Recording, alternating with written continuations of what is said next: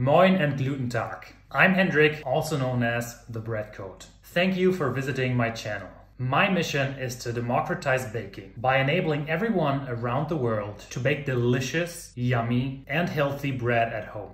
Now, being a software engineer, I care very much about the why behind each recipe. So if you are that person that likes to understand why you should do a certain step, then you have come to the right channel. If you're new to baking, I'll be linking my favorite playlist, which you can binge watch right here. Now, enough talking, happy baking, have fun, and may the gluten be with you. By the way, in case you were wondering, Moin is a typical greeting that you use in the northern part of Germany. And Glutentag, well, gluten is important for baking, and Guten Tag, German for uh, good day. And well, we want to wish you a good gluten development. That's why Glutentag.